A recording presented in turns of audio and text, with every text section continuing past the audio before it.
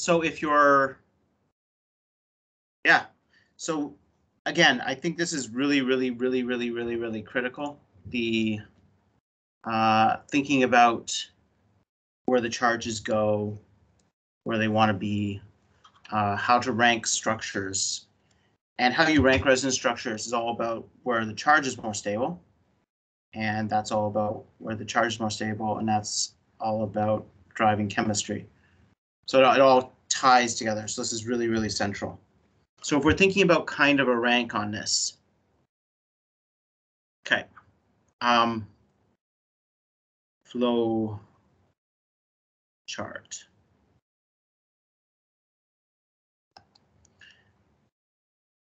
I think in general, and again, all this needs to be taken with a caveat that you can always overcompensate a decision with a later decision because it would be nice if it was really straightforward. We'll work through a few more examples and hopefully we can narrow down what those are. Um, but is the charge on the more electronegative atom?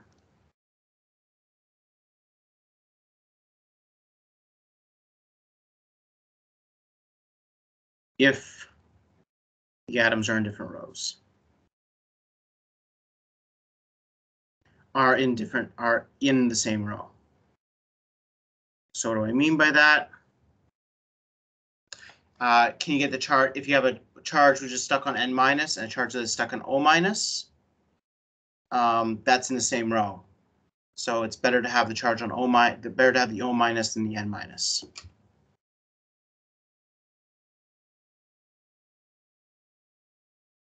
Okay, if it's a yes, um, let me rephrase that.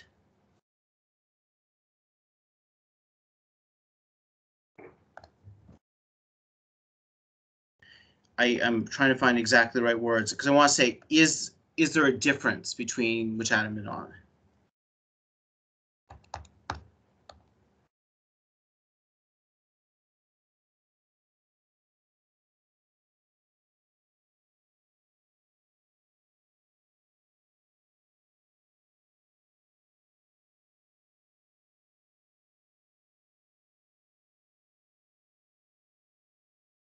Between the most electronegative atoms. So this is taking all resonance into account. You Before you can even start this, you need to figure out if there's any resonance where the charge could be stabilized. Because, for example,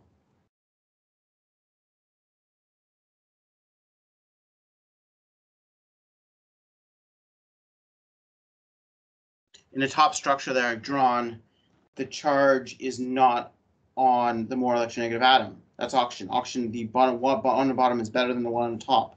The problem is the one on the top isn't the only way to draw that.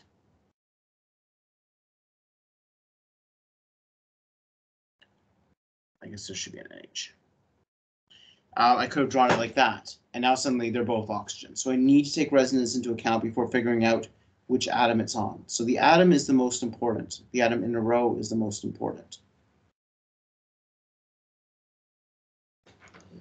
So if yes, um,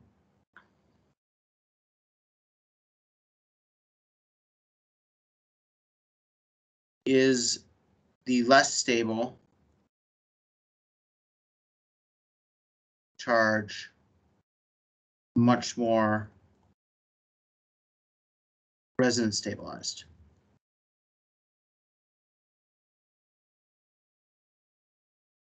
So we've gone from nature of the atom to resonance. So even if I have a system where I have a less stable atom holding a charge, if there's enough resonance, notice I'm not putting a number on that, um, should be pretty clear. Like if one if one of them is no resonance and one is like a freaking ton of resonance, then the ton of resonance will probably win, even if it's on an atom which less like to carry the negative charge. Um,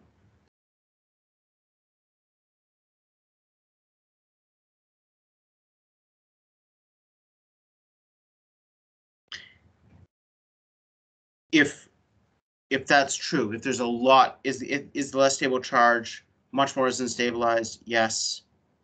Um, resonance driven.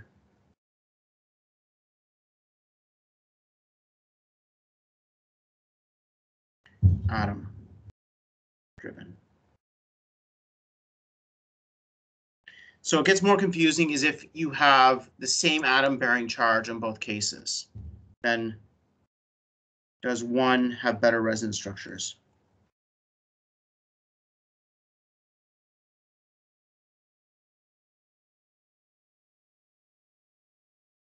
So if the charge is on oxygen in both cases, for example, and one has better resonance structures, yes. This one.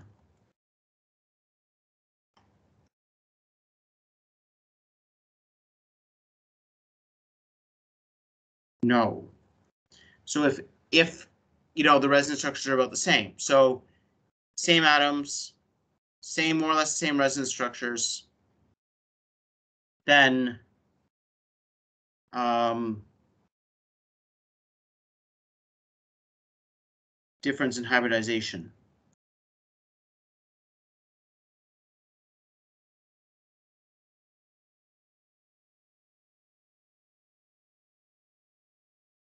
This will normally only come up if there are no resonance structures where you really get a difference in hybridization. Uh, because if you have resonance structures the charge, the charge, the electrons are probably in an sp2 orbital. Uh, sorry, the charge is probably in a p orbital. Uh, but if you don't have any resonance structures, you could have an sp versus an sp3 versus an sp2 orbital, like we saw with the alkyne last class. If there is, um, if the answer is yes, that one. SP better than SP2. Better than SP3. It'll never be in a p orbital. If there's no resonance, the lone pair will never go into a p orbital because they only go into a p orbital because there's resonance. If there's no resonance possible, it's going to go into an sp3 orbital because that's lower in energy than a p orbital and it's more stable. So you only have p orbitals if there's a possibility for resonance or double bond, like double bonds involve resonance.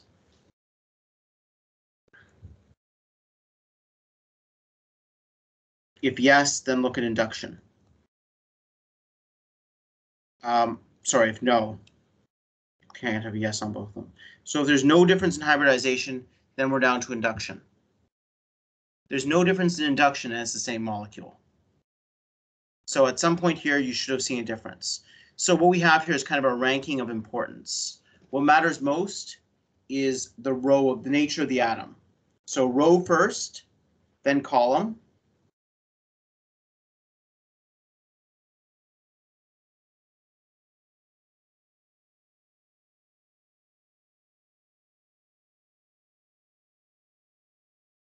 So where they are in a row, so oxygen is always going to win over nitrogen, but sulfur is always going to win over oxygen.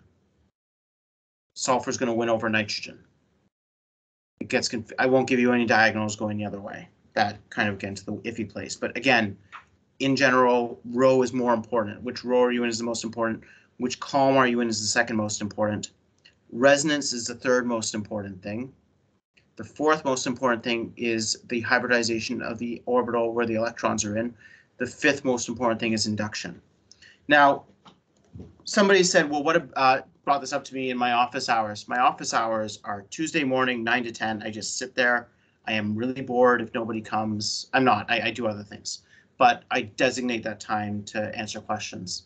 If it completely gets absolutely crazy and full up, I'll open more office hours, but uh, we're not there yet. Um, and again, Samra is holding one hour sessions after class on Monday and Wednesday on this channel. You just stay on here once I leave, and then she'll try and explain things in different ways, which might make more sense. So somebody brought up, well, what about the octet thing? You said, you know, octets are really important for charges. And I go, yeah, I completely agree. That's really up here with the atom thing. If you, all of this stuff basically assumes everything has its full octet. An atom without its full octet is massively unstable. That's normally the worst thing possible. So if you know, in one example, an atom doesn't have its full octet, and the other example it does. Uh, full octet, please, every single time. So let's back up here.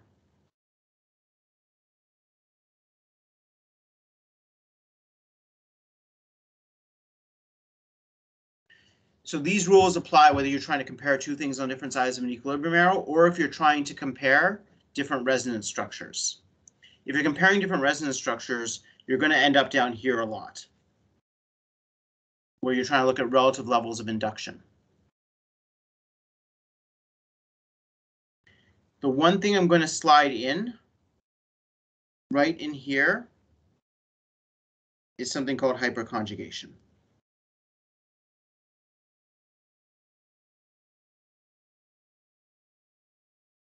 It's kind of on level with induction. You know what, actually what I should probably do, to be honest, to be fair to this whole thing, is I should put the hyperconjugation in a slash with induction. Because they kind of go back and forth. It depends how good the one effect is over the other. There's no rule. That is not the least bit clear over what the hell I just wrote.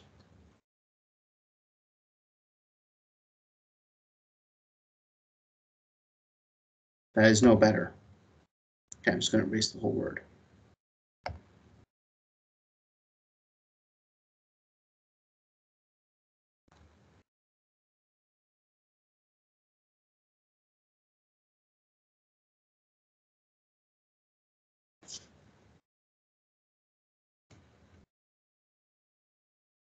Um,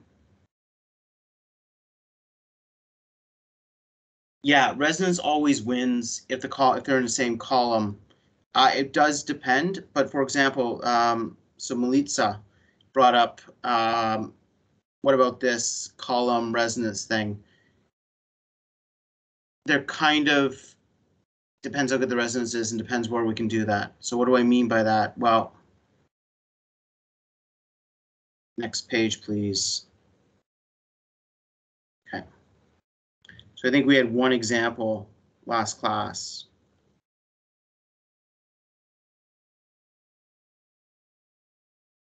Where we were basically comparing these two species.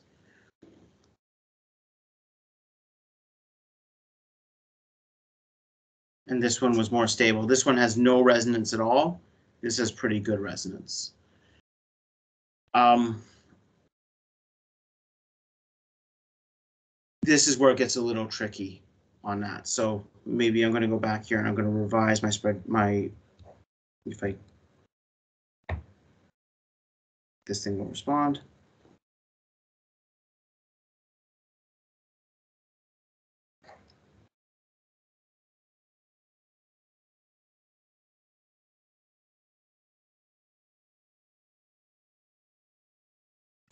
So my flowchart is now getting a lot more caveaty, um, which is unfortunate, but just true.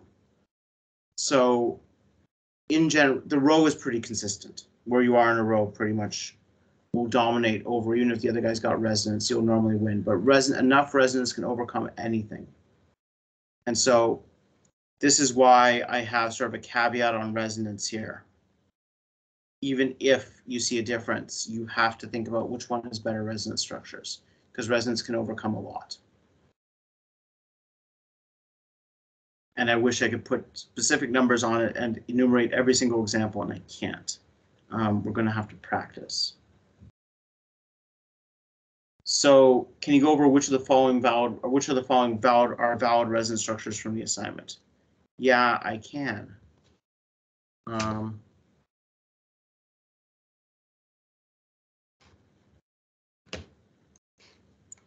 Let me open this up.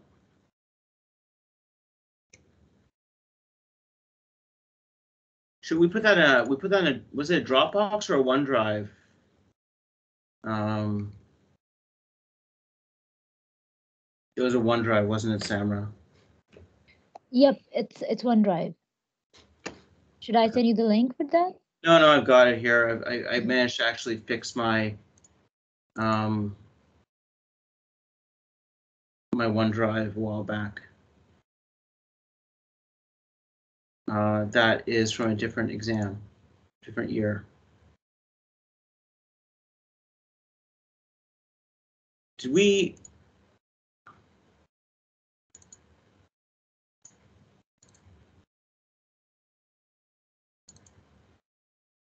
Did we delete the questions?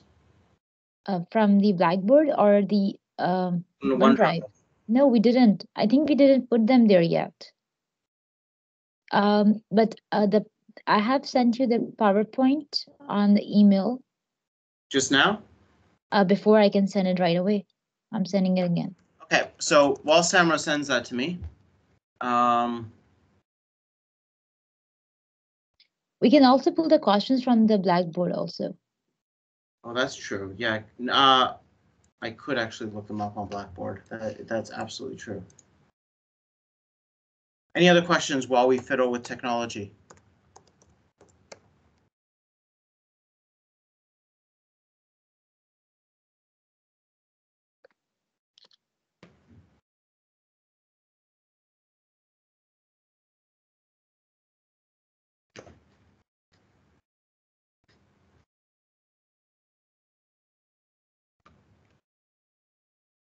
I'm not seeing any. Um, resources.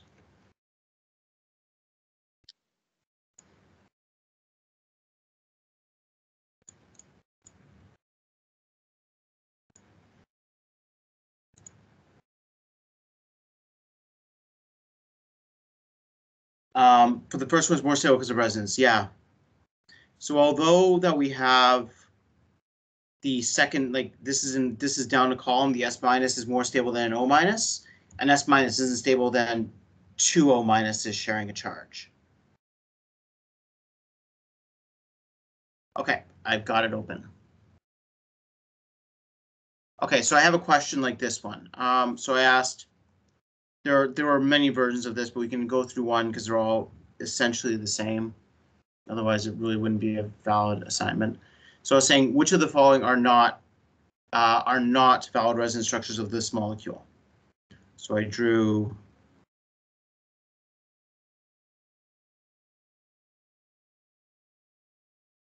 this.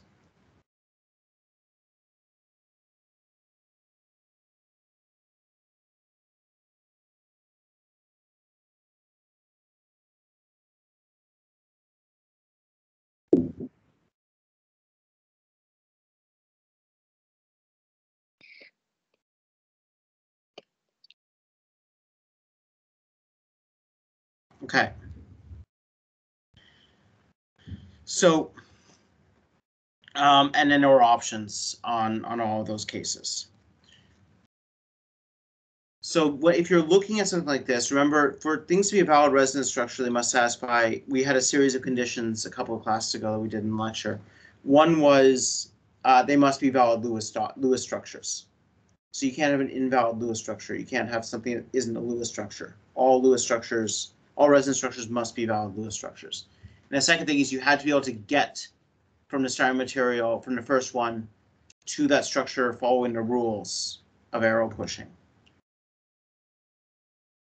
So if you take a look on all of these, as drawn, none of them is an invalid resonance structure, a Lewis structure. But there's one that is kind of hiding as an invalid Lewis structure, just you have to think about that.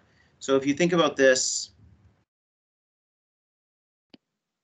there are hydrogens. If you need to draw them in, you can draw them in. And if it's a valid resonance structure, you haven't moved any atoms, right? You're just moving electrons around. If we look down at this guy down here, there must be hydrogens here. So we've got a few issues with this structure.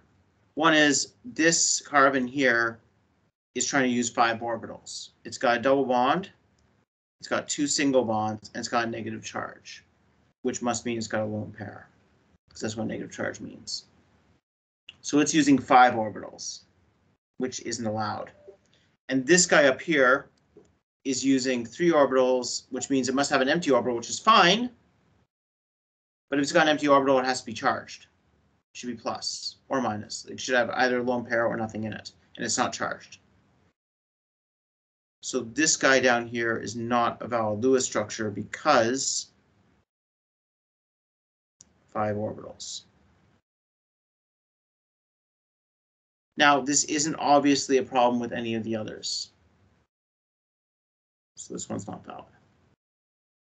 All the other ones can be valid Lewis structures. There's nothing preventing that. Sorry, I look so washed out. My lights are off and I don't want to get up and turn them on.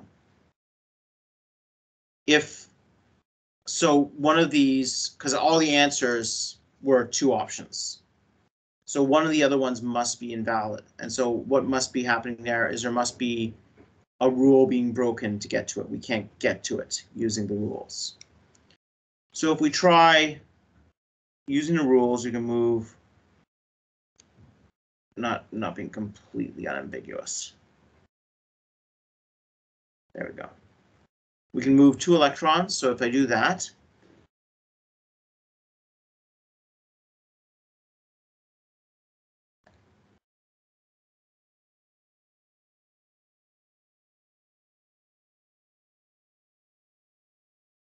I get that. That's a valid resonance structure. It's a valid Lewis structure. And I got to it using the rules. And then I can do that. Nothing stopping me doing that. Moving a lone pair into the next one. It's got an empty p orbital to accept the electrons. Everything's good in the world.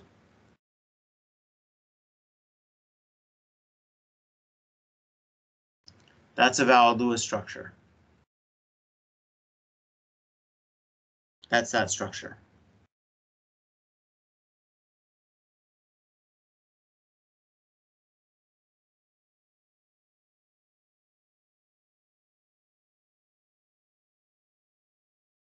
Now, I can draw this one. So I'm doing, I'm sort of following rule number three that we had, which is you can chain these together. So I'm you can draw it separately, that's okay. And just chain them together. I get that. That's that. So the other one that is apparently invalid is this one. And if you think about it for a second, you'd realize it because this is CH3, this is CH3. This carbon here is trying to make five bonds. It's trying to make a double bond and three bonds to hydrogen. And if I caught that earlier, I could have saved me some work um, but I didn't. I wrote this question, but I forget what I was writing. So five orbitals. So this one is not valid. So those two aren't valid because either I can't get, I can get to the other two using the rules and they're valid Lewis structures, whereas these ones are invalid Lewis structures. Ah. Alyssa, so you asked C. So um, Okay, so Alyssa's put it into the chat.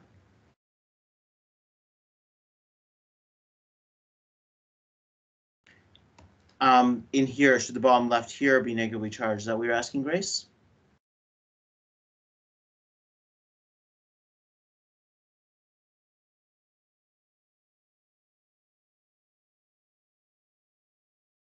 Well, I'll let Grace answer Ah, well, it's okay to have one hydrogen here. That's fine, because it's making four bonds, right? So it's neutral.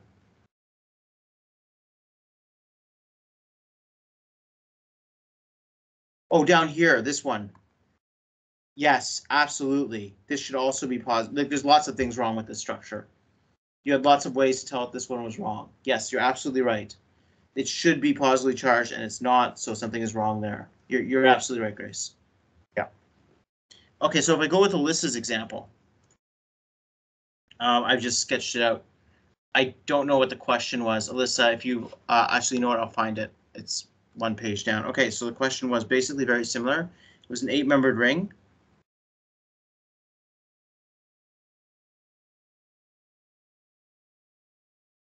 And Alyssa said she's had trouble with C.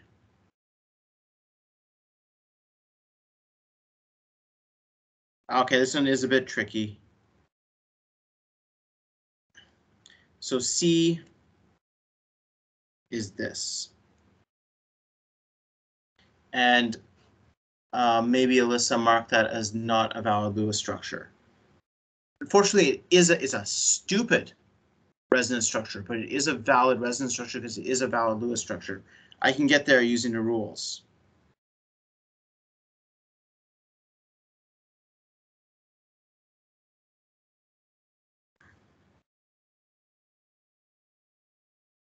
Now it's backwards. And it's going to be overcompensated by the other resonance structure where you push the other the other way put the positive on the carbon and negative on the oxygen. But you're not breaking any of the rules. It is a valid resonance structure, whereas two of the others are not valid. Um, if I open, if you take a look and say, okay, the, if this, I'm going to open Alyssa's. Oh, like if you open up Alyssa's um,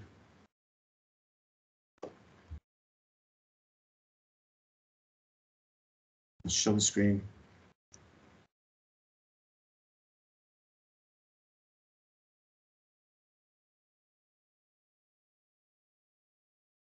Ah, chat.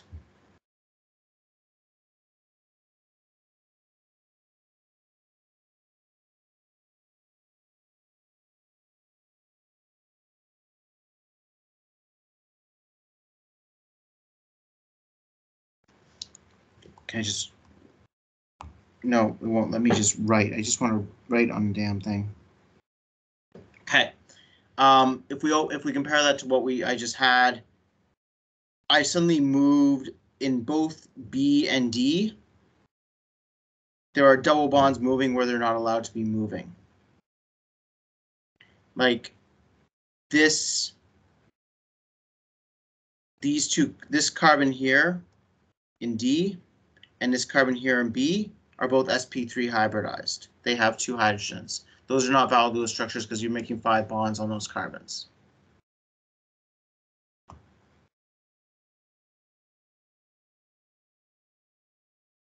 Okay. Um,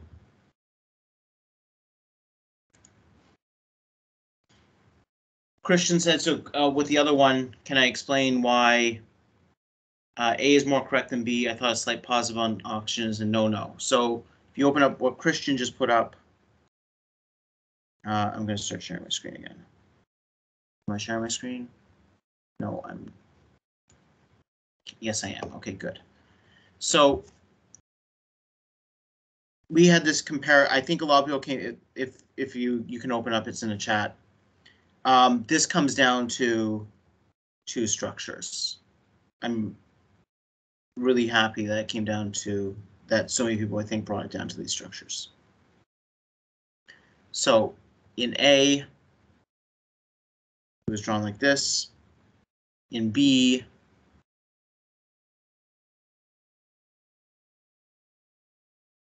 it was drawn like this. And it was what is the what do you think best represents the charge density on the following molecules?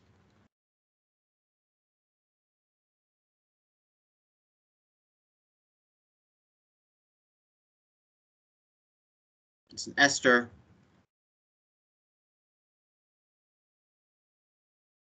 A major resonance contributor is that.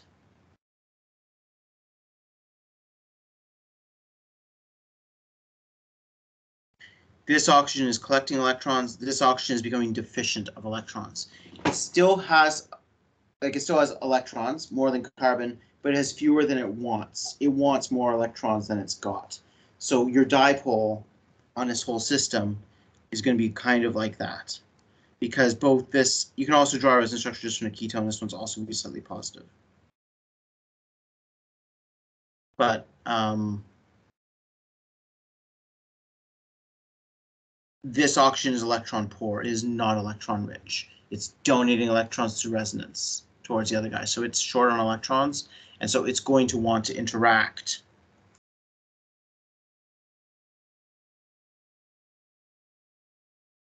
with another ester right below it because this guy's delta negative.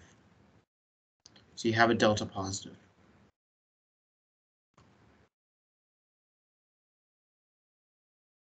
Always check resonance. Um, I I will admit that I think I have a resonance fetish. I get off on resonance. Um, it gets me very excited. I, I will also state that uh, reality also has a resonance fetish and gets off on resonance and gets reality really excited. And so a lot of chemistry is driven by charge delocalization and resonance.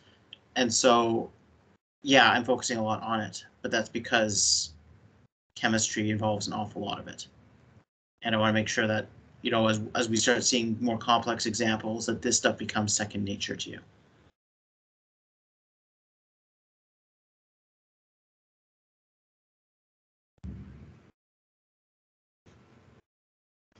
I will admit I do make mistakes on these. So we did, I did make a mistake on uh, one of the assignment questions. We caught it before it affected more than five people. Um, because somebody said, I don't think any of these are right, and they were right. None of them were right. Um, it was, uh, which question was it?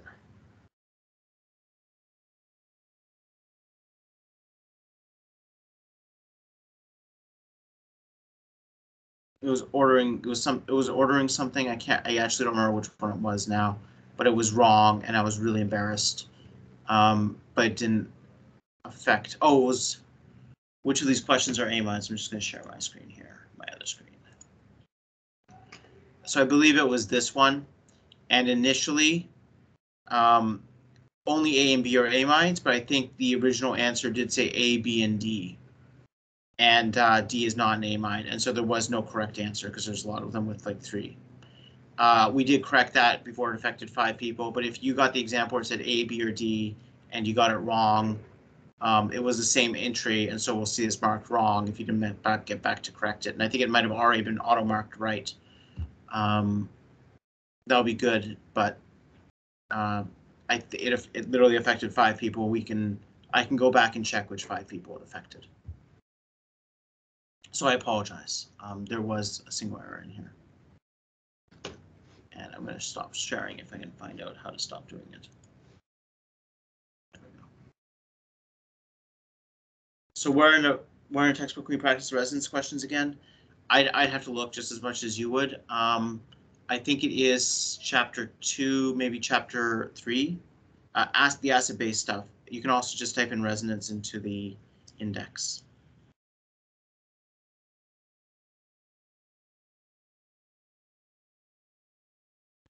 Aha. Okay. I'll. You know what? This is this is good. Normally, I don't. I, I like in a normal classroom. I couldn't go over this. We had to go. Okay, we had to move on with the content. Flip classroom. We can just go through examples like this, and this is good. Um,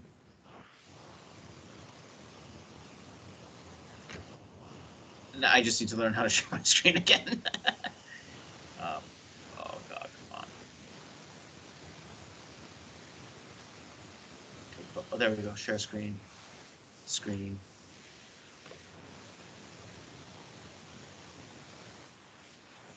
Okay. So we have this example here, so you can see my cursor. So I think the the comment in the chat was, um, how can you show how there's 11? I only counted 10. So this caught a lot of you guys. Okay, so hopefully a lot of you went, okay, I, I know this. There's double bond, sp2, sp2, 1, 2, double bond, three, four, double bond, five, six, carbonyl, seven, eight, double bond, nine, ten. Great, I found all the double bonds. What am I missing if I do that? And I'm going to close. Um, I don't think I can see the chat and see this at the same time. So Samra, I need you to jump in if you see the right answer coming up in the chat. So if we count the 10 car, uh, carbon or 10 atoms are involved in double bonds, uh, we don't get the right answer the number of sp2 atoms in this molecule.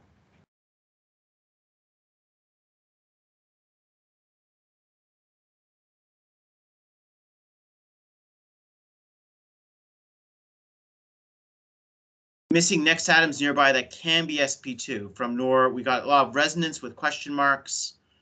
Hybridization and lone pairs from iosite, um, yes, but just be why. I, I like the resonance question mark answer more. This oxygen here, you can draw a resonance structure where it uses its lone pairs to make a new carbon and oxygen double bond, moves the electrons onto the oxygen. It's an ester. Esters do resonance. We just saw an example with that with the last thing I just drew. And if it does that, that lone pair must be in a p orbital. The lone pair is not in a p orbital, it can't do resonance. So this oxygen here must be sp2. So again, I said this in class, if you have an atom with lone pairs adjacent to an sp2 atom, it too is going to be sp2 because it can make a double bond and resonance is always good. So this one can. It's the only example of an atom next to an S any of the other sp2s that is got lone pairs. Like this carbon, it's all carbons next to it. They're fully saturated, nothing you can do. Same thing here. Well, you got another one of these things, but we've already counted these guys. This guy's got a carbon and a carbon. Those are both sp3 hybridized. Can't do anything there. sp3, sp3 can't do anything there. sp3. This guy can be either sp2 or sp3. If it's sp2, it can do resonance. That's more stable. It's sp2. So that's why there's 11. Every single one of the count the number of questions had at least one of those kind of esters or things in it. Um, Tamiflu. Okay, let's see if I can find.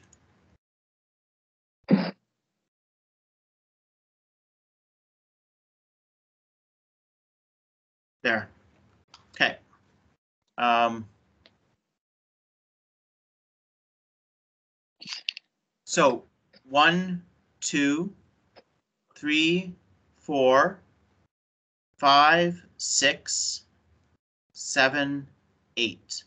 Because the nitrogen has a lone pair and it's adjacent to the carbonyl, so the nitrogen can do this too.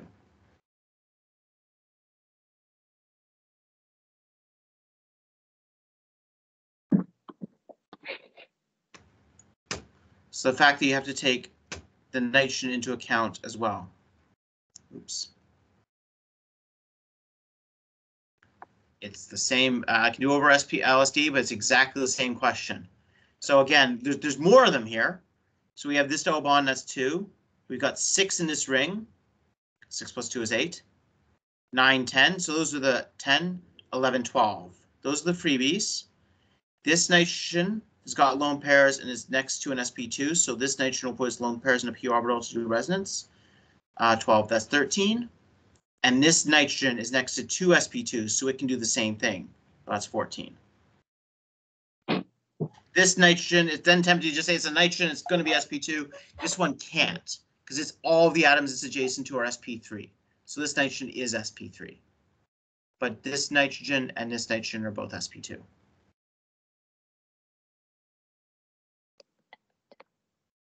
Um, so Alan said for this question, I counted all the valence electrons to find how many lone pairs there would be.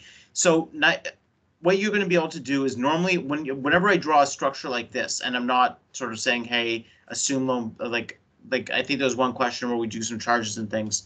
Whenever we're drawing things, if we're not asking specifically Lewis dot structure questions, you assume if there's no charge on the atom that oxygen has two lone pairs, nitrogen has one lone pair, carbon has zero lone pairs. Fluorine's got three, like halides have three lone pairs. So you can make an assumption based on where they are on the, the which column they're in. So you don't need to count up every single uh, valence electron, every single one. Because you would not have enough time to do that on the test, Alan. And actually sounds like a really good way to make mistakes because counting is hard. I count to eight. Uh, so Hamza, uh, said, does resonance take precedence over induction or vice versa? Resonance almost always wins over induction. I can't I can't think of an example where that's not true. Like if I've got because the problem with induction is how far away is the induction. So if I have this versus this, much more acidic.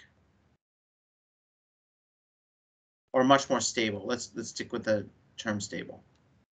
Resonance is dominating over a strong inductive effect. If I move this right next to it, a strong CF3 right next to the O minus, I don't think that molecule exists, first of all. That might be more stable. Um, but I'm not, that it has to be right there, and it, that's the strongest possible inductive group. Oh, you can't see the whiteboard. That is a really good point because I am sharing the wrong screen.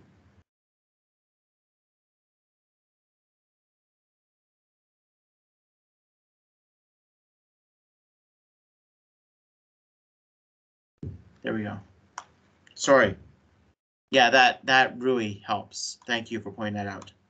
Um, so Hamza, we have got carboxylic acid versus this. That's the strongest inductive group there is. This carboxylic acid, this resonance wins. That's much better.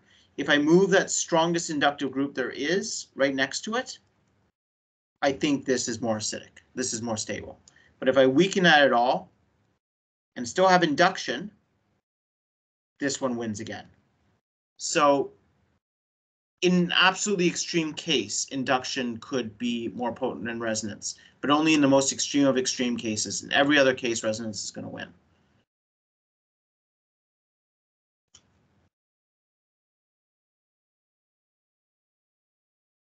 Yeah.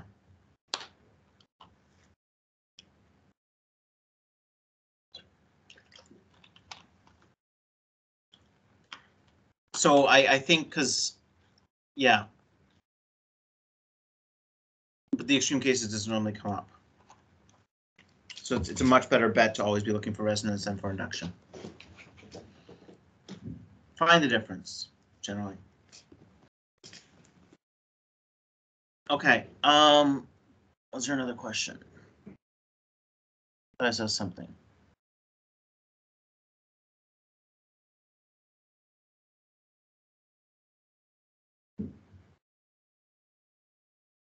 Any other specific question?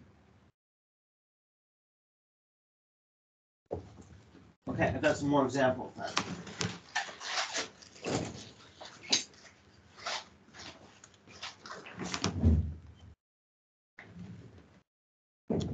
So what, um, will we do examples of Newman projections next class?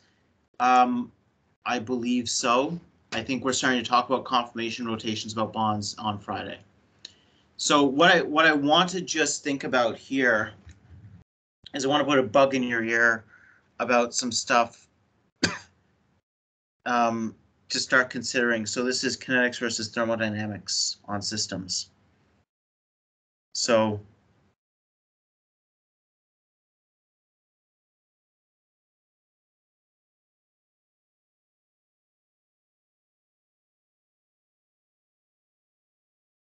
So let's look at a really simple reaction.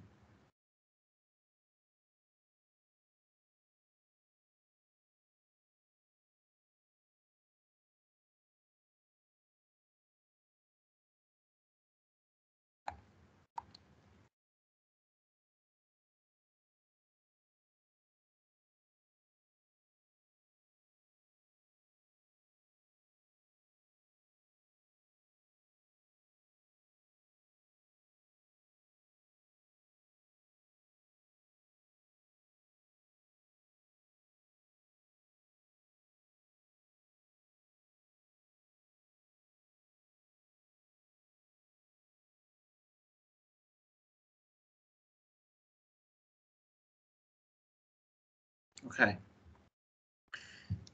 Here's a reaction. So I've got two questions maybe for you. The, let's say I put in, you know, one gram of this, one, I'm making numbers up. Let's, one mole, we'll do one mole. Initially, it's going to convert. Hopefully at this point, you're going to go, well, it's mostly going to be the product. And so theoretically, we could calculate the number of stuff at equilibrium. So let's say I think it, I think give her, it, it's more than this, but let's just put over here.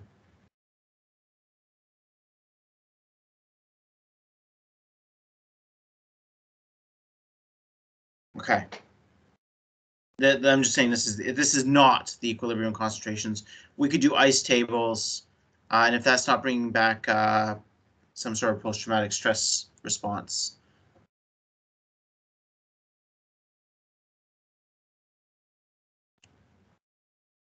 Um, Uh, Deepashika, yes.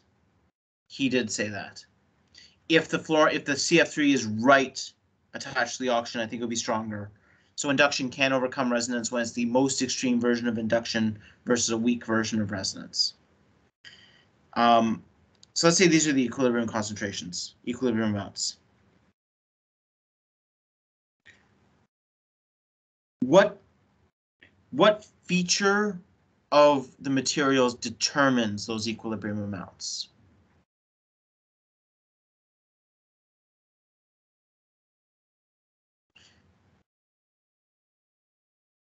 Or what physical measurement or physical embodiment of the material? I'm trying, trying to think about what term in physics determines that these things lie that way.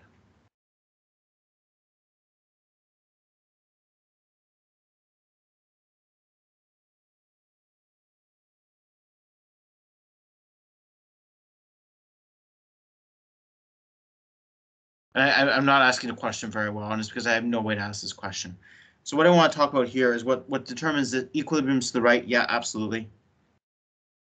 Conservation of mass. Okay, well that, yeah, yeah, it tells us we didn't create mass. That's great. Um, but why, so why, why are they distributed this way though? Why, why more to the right and less to the left?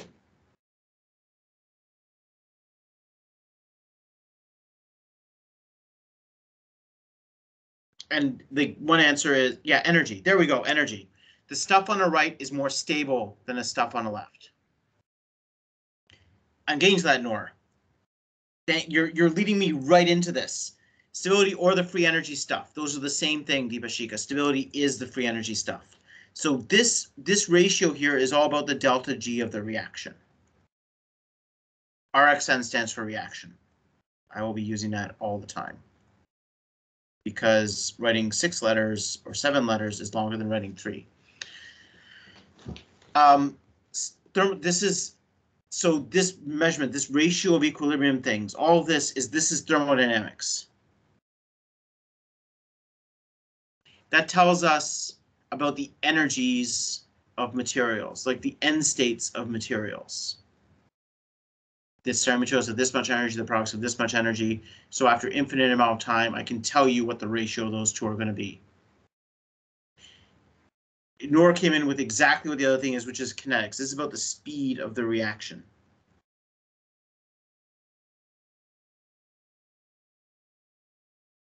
So if you have, so this is about like exothermic, endothermic reactions. This is an exothermic reaction.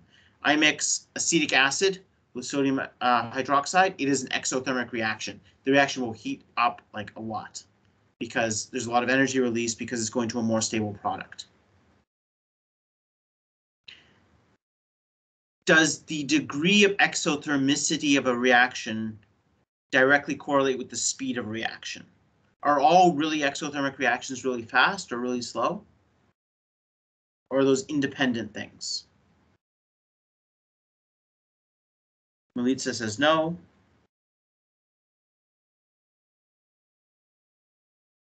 Eyesight says no. I have no idea if I'm pronouncing your name right. Um, I said, I'm sure I'm butchering it. I'm really sorry. Independent, right, they're independent. Right, all you guys are agreeing. Speed and relative energies of the materials are independent. So we're going to be drawing a lot of things, and this is called a reaction coordinate diagram. Some of you might have seen this before. Some of you might not. The y-axis is energy. The x-axis is something called the reaction coordinate, which is kind of like time, but not really. It tells you how far along the reaction you are. So I'm going to just go back. I'm going to call these together starting material, SM, starting material.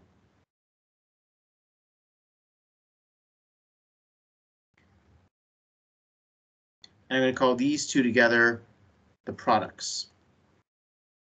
Now, this reaction is in equilibrium. It is arbitrary which one I call starting materials and products. Like it makes sense here because there's more of the products at equilibrium. But I could have flipped them as long as I'm clear of what I'm talking about for equilibrium reactions. So I'm going to draw the starting material on the left-hand side. The products are more stable. They are lower in energy than the starting material. And as we go from starting material to products, we go through something called a transition state.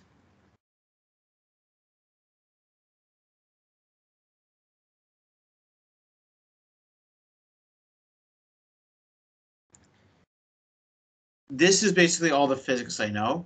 Um, it's all in this diagram. This difference here is the delta G of the reaction. This is the energy released or gained as you go from starting material to product. This energy here is the activation energy.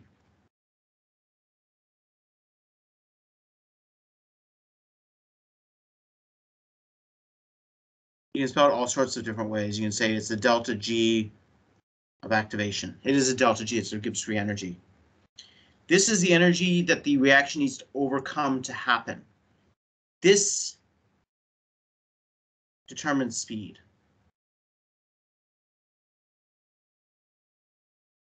This determines ratio.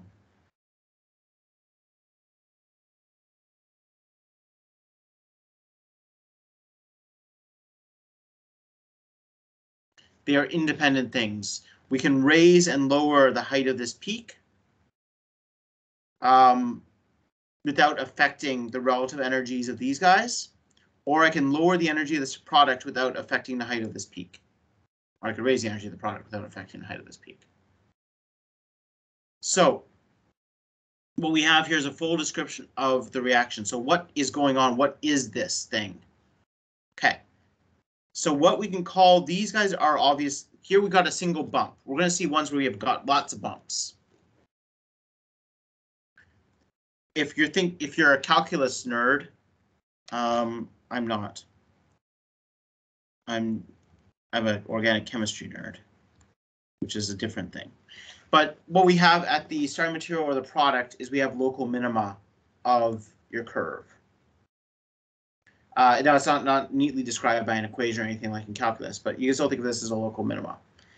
And here we have a local maximum.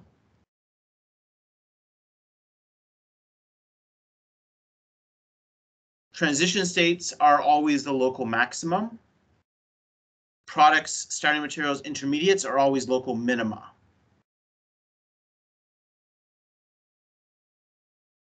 Always a valid Lewis structure. Every intermediate, every product, every starting material must be a valid Lewis structure.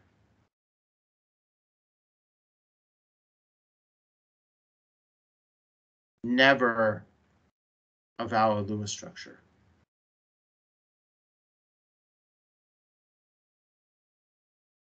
No transition state is a valid Lewis structure. They're high energy, they want to collapse to a valid Lewis structure, which is an intermediate, but they are not valid Lewis structures in and of themselves. What are they? Well, let's just take a look at the reaction we drew. Then I'm done for the day. I just want to cover this because this is really, really, really, really, really, really important. And I want to see if it actually helps if we cover it now instead of later in the course. Just the way we think about it. So we drew this. Everything on the left and right is about Lewis structure. These are the starting materials. These are the products. The transition state is the transition between the starting materials and the products. So what does that look like? Well, transition I'm going to put in a bracket because I'm saying, hey, this is not a valid Lewis structure, and I am very aware of that. I'm going to put a little cross of Lorraine up there saying, I am aware that this is a transition state. And it's not a valid Lewis structure because we're going to draw something that doesn't make valid Lewis structure sense. We're going to extend out the OH bond. It's weakening. It's not broken. And we have a new OH bond being formed. We have a partial negative charge on the hydroxyl group. We've got a partial negative charge on the acid. Um, and if you really want to, you can draw a partial positive charge, little one on the hydrogen. The overall charge of this thing is minus one because it's minus one here, minus one here, it has to be minus one up there. So what I've done there is I've drawn a non-valid Lewis structure because hydrogen's kind of making two dotted line bonds. And you, you can't have a dotted lines in a valid Lewis structure because Lewis structures have like single bonds and we know where the, all the electrons are. But here, this hydrogen is making, is breaking its bond with one side and forming its bond with the other. And we've kind of caught it in the middle. This is not a valid Lewis structure. This is the most unstable thing you can do because we have put energy in to break an oxygen hydrogen bond, we haven't yet gotten the energy out that we get from forming a new oxygen hydrogen bond. So we've kind of had to pay and we haven't been able to get our money back yet. So this is the worst. This is the highest energy point. Either way, it's going to collapse. Either the hydrogen is going to snap back onto that first oxygen or it's going to snap onto the second oxygen. And if you catch the transition state, it's got a 50-50 shot of going either way. It's right at the metastable point. Slight disturbance and it slips back to being to its starting material. A slight disturbance the other way, it slips back to being a product. So you have it at this kind of flat inflection point where it's everything's in equilibrium, but any disturbance and it will collapse out because we're at the local maxima. All transition states are local maxima. All transition states exist for fractions of time, like, you know, femto, less than femtoseconds. They, like, you pass through it because anything will make it not be it. Um, but they're useful, even though they don't really exist because they don't exist for any length of time. They're useful when we think about how reactions go. What pathway does it go through to get from the starting material to the product? It goes through a transition state. A transition state is never a valid Lewis structure. Products, starting materials, and intermediates are always valid Lewis structures. It's 2.30, we're 10 minutes over. I am going to hand this over to Samra, who's going to stay on the line and talk about this stuff or any other stuff you want to talk about um, without me being here. And she will explain things differently if you need things explained differently. Um, just for context, uh, Samra is a new student in my group. She's starting her PhD, but she has taught this stuff herself um, at universities as a professor uh, for years, and so she's super experienced. So what lecture should we have watched for Friday? Um, that's a really good question. I will answer that one. Let me pull up the syllabus documents. Teaching white class syllabus. Um, stop share.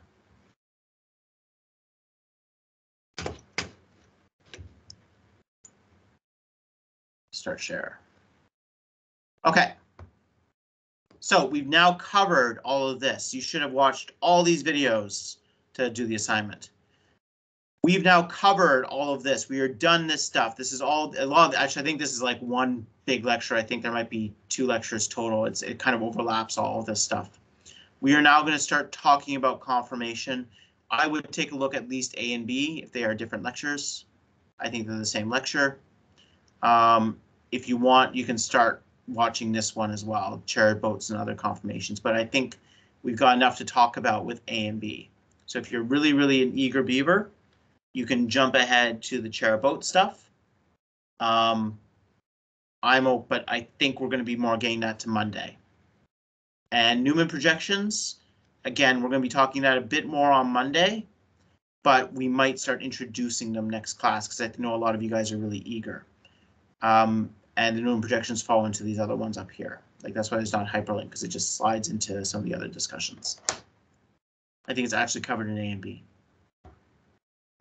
So if you want to get your bases covered for Friday, Monday, and Wednesday next week, because Friday, Monday, and Wednesday are in green.